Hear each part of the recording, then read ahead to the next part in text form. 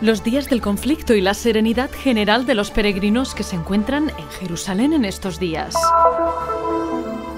No queremos una tregua, queremos la paz, segura y duradera, que solo una ley internacional justa podrá garantizar.